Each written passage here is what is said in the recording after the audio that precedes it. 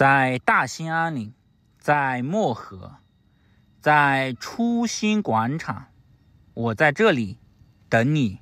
兄弟们，一夜过去了，安全度过。现在外面负十六度，刚刚烧了一壶开水，看一下零下十七度，这个多久能凉？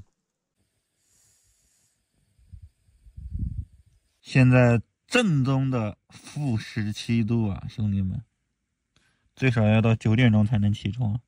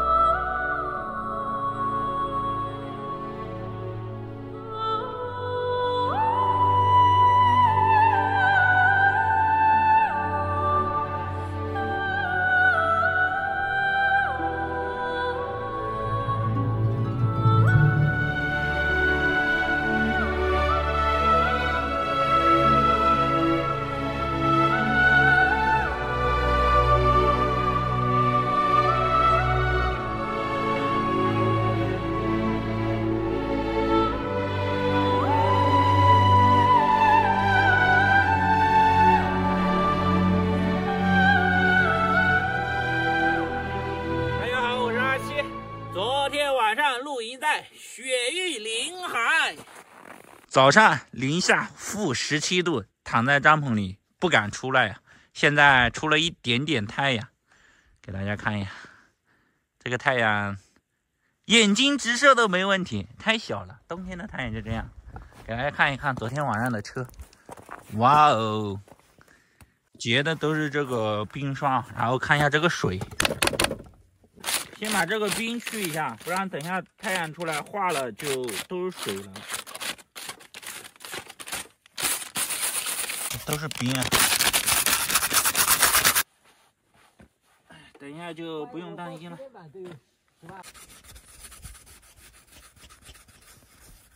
先浇点热水，把这个牙膏换一换。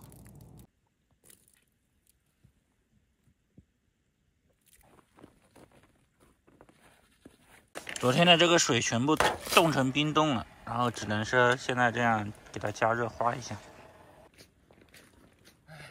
刚刚去旁边的护林员家里打了一桶水啊，这样的话就不用担心。刚刚那个水都冻的根本做不了饭，现在就能可以做个早餐了。这个狗还是挺帅气的。哎呀，早上的话就简单下个鸡蛋面吃一下了，还有个方便面可以放进去调个味。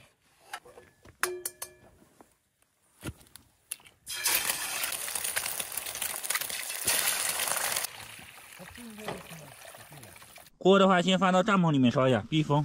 现在出了太阳，然后暖和很多，没有感觉那么冷了。哎，平安过来！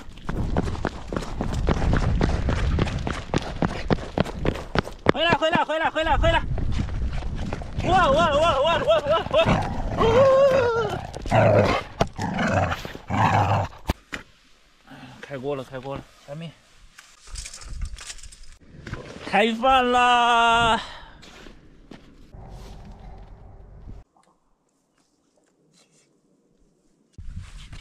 睡袋收好了，帐篷收一下。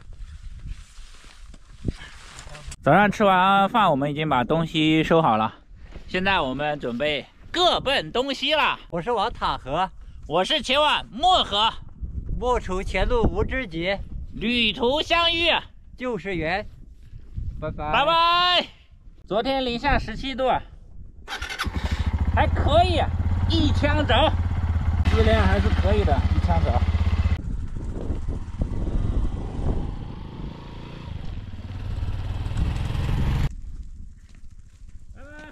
拜拜。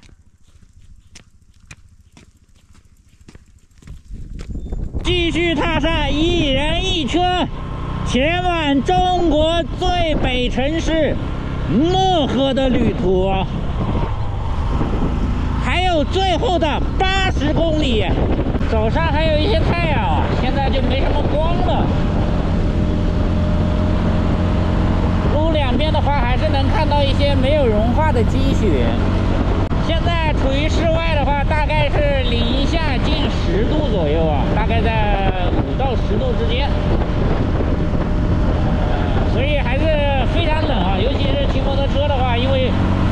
别大。再过几天就是临海雪原了。现在的话，因为没有下雪，这些雪都是以前下的，然后没有化。看后面这个云朵，下雪也就在这两天的事情了。前面还有一些蓝天的。看一下，现在路两边有那种导热棒，这就是应对冻土路段而设置的，可以防止这个路面的沉降。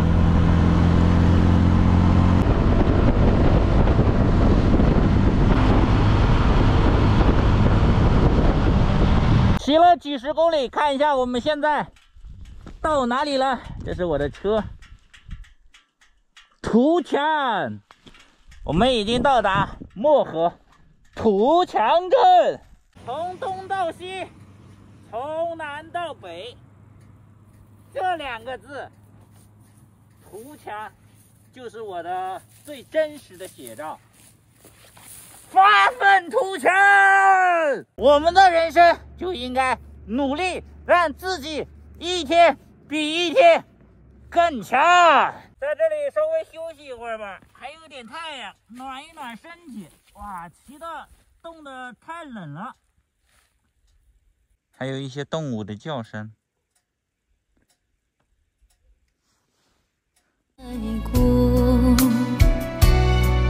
冷冷，冰雪不能淹没。就在最冷。骑车感觉特别冷，但是我在这里休息了一会儿，一点都不感到冷，尤其是这个太阳晒着。主要是骑摩托车的时候风很大。然后就显得特别特别冷。休息了一会，然后我现在也准备赶往漠河市里面了，还有二十多公里。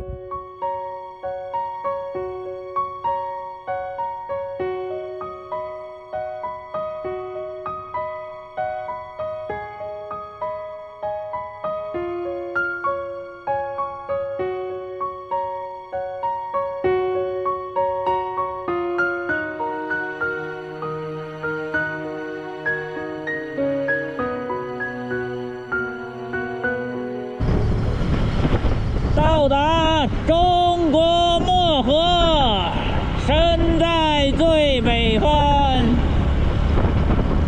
这个雕像什么意思？看一下，前方就是漠河市了。啊啊啊啊！我们到了，我们到了大兴安岭地区最北的城市，也是中国最北的城市。漠河，我们右拐去漠河市啊，前面直走是漠北公路，应该是去往北极村的。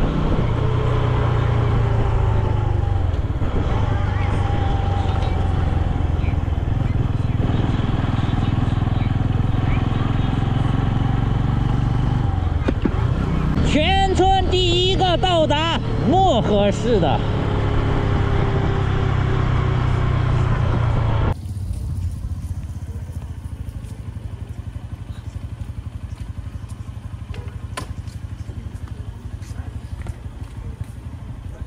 到达中国最北城市漠河，这里是中国最北的舞厅——漠河舞厅。骑行几千公里啊，从南到北，从东到西，这里是中国最北漠河。刚刚在后面的舞厅打了一个卡，然后我们去找一下今天晚上的露营地，零下接近二十度。在城市边上有一个初心广场，然后我们现在去看一看。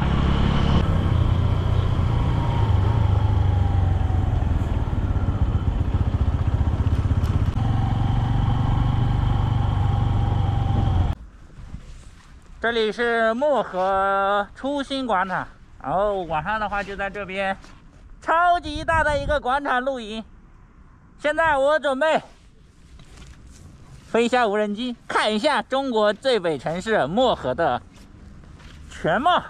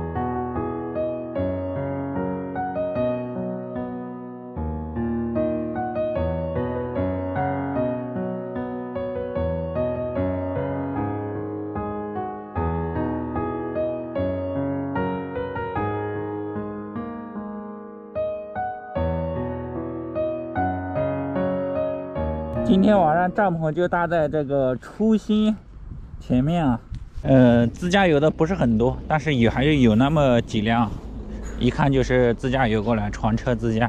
看一下对面卫生间营业到几点钟？全天二十四小时营业吗？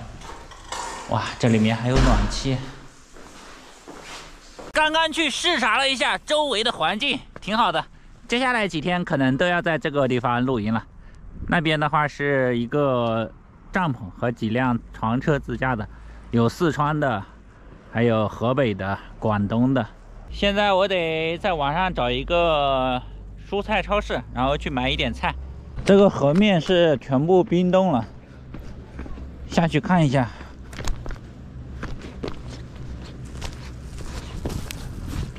哇，好多人尝试过扔石头，这上面你看，全部扔的都是石头。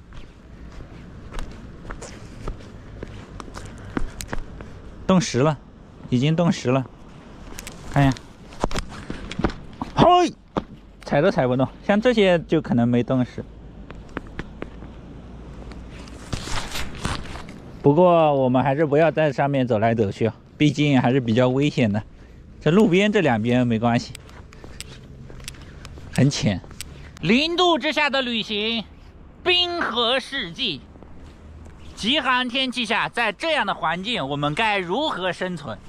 接下来，我将挑战在这里住上那么几天，趁最后还有一点光，然后出发去买点菜的，再回来。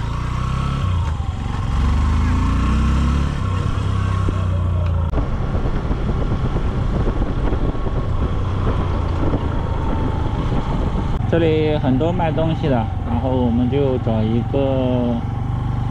生鲜超市，顶峰商业广场，车子就停在后面的这个垃圾桶这里有啊，有一个空地啊。然后现在去找一个生鲜超市买点菜，这里面很暖和啊，有暖气啊。农贸市场在这里，这个多少钱一斤？这个呢？那个有鲫鱼，有十五的，还有虫虫，好几样呢，你说哪样？这样是虫虫，家里的二十五。这是鲫鱼，十五。哎，就这个吧。嗯，来一个来加。呃，一个吧。啊。二十七块钱的。好的。啊，收拾收拾收拾。买了一点菜啊。都没有太阳了。现在回去搭帐篷。虽然是个小城市，但是该有的东西还是都有。现在又回来了，赶紧搭帐篷，快没有光了。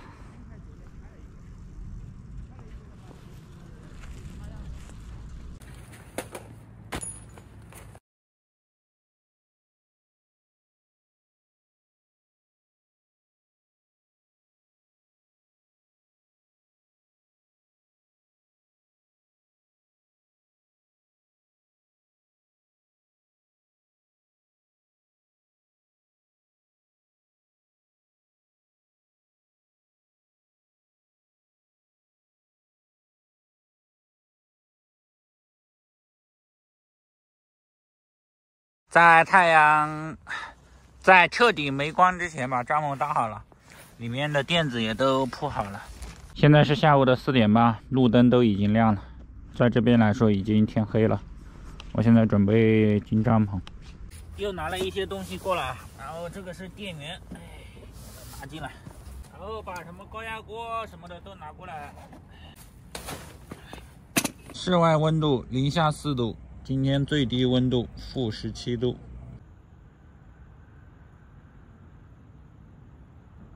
东西都拿进来了，我也得进去先烤一下火，暖暖身体了。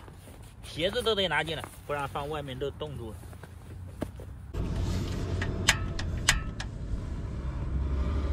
一会儿就烧红了。冬天这个气罐容易结冰啊，所以的话只能用来烤火。就是这种剩的最后一点点的，用来烤火还是没问题的。做饭的话火力太小，好像也没气了，每个都烧了一会儿就没有用了。这个好像还挺多。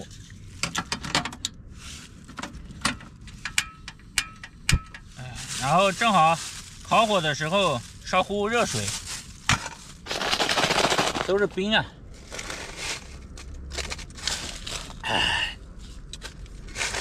刚刚烧了一壶水啊，然后给他倒一杯喝一下。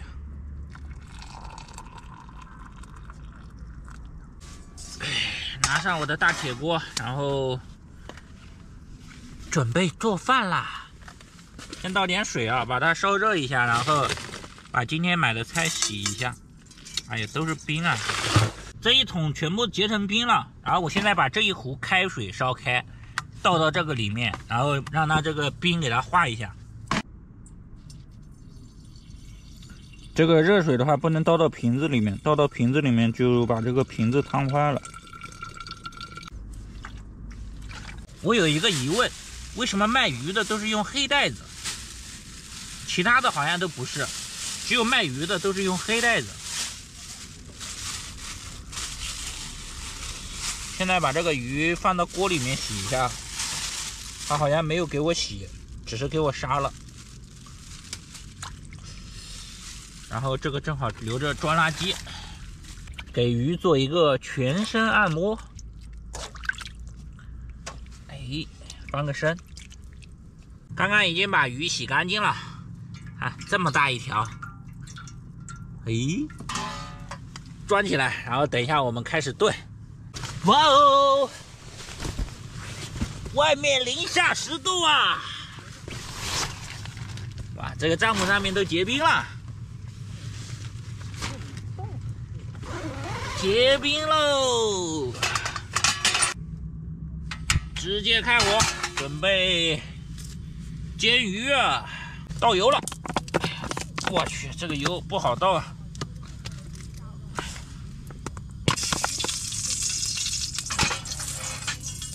先画一下，看看够不够。哇，烟雾缭绕啊，兄弟们！没办法，就这样吧。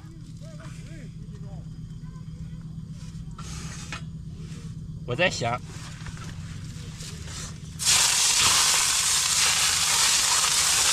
哦哦。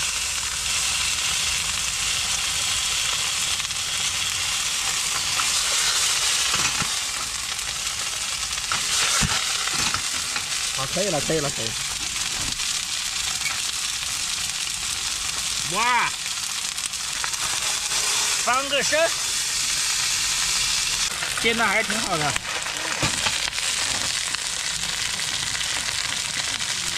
再来一点油，没有油了。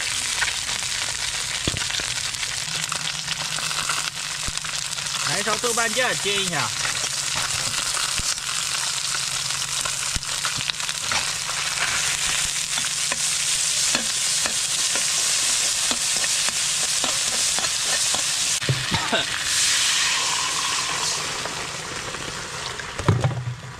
现在调点味啊放点酱油啥的。这是老抽。调个色这是生抽可以多放一点就就是这个鱼上面浇一点。再放一点盐。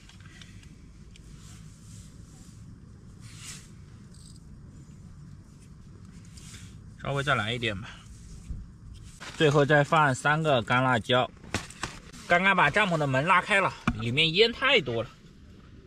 现在把它这个盖上，给它焖个十分钟，可以把这个拉起来了。鱼的话，刚刚已经烧开炖了好久了，然后我们先把它拿到一边，煮点米饭先。这个米倒了一点水，把它泡起来，泡起来。加盖，上气了，上气了，一上气这边又又喷很多水，然后就显得这个锅很脏。看一下，这水都冒到这边来了。这煮饭有水蒸气啊，得把这个窗户开一下。水蒸气太大了，湿度太高。米饭煮好了，然后把这个鱼再放上去烧一下。直接放进去吧，我感觉，就一片一片、一片一片的放。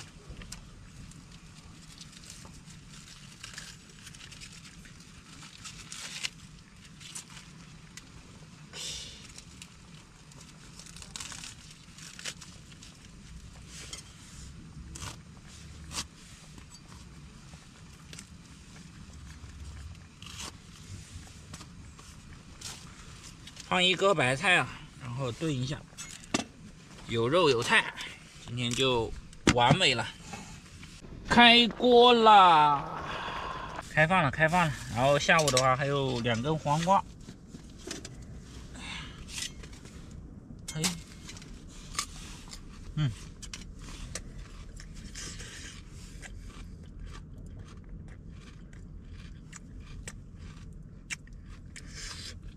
鱼肚子，精华。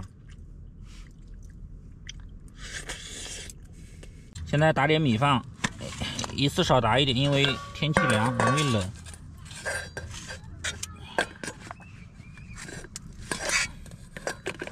够了，差不多。嗯，还可以。吃鱼吃白菜，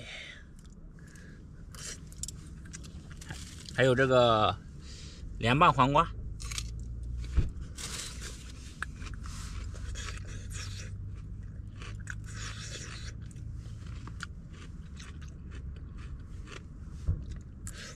外面零下十二度啊，我在里面还挺热的，真的，还得吃凉拌黄瓜。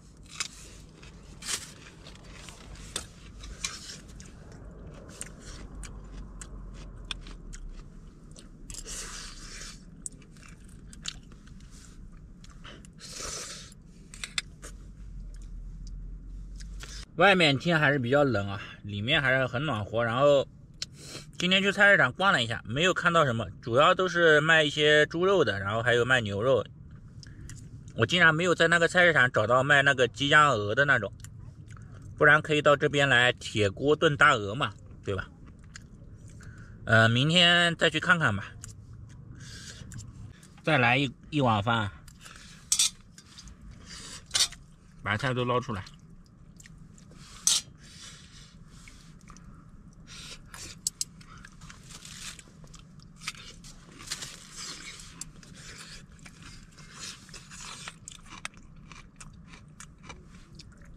吃完饭了，然后现在用这个烤一下火，还剩了一点的话放在这里了。这里的话有一二三四五六，加上这一瓶七瓶。很多朋友会问我，冬季现在零下十八度，今天冷不冷呢？会冷，会冷。比方说现在帐篷外面，那就是很冷，但是我们在帐篷里面有这么多。气气瓶可以给我们烤火，所以说在帐篷里面是不冷的，朋友们。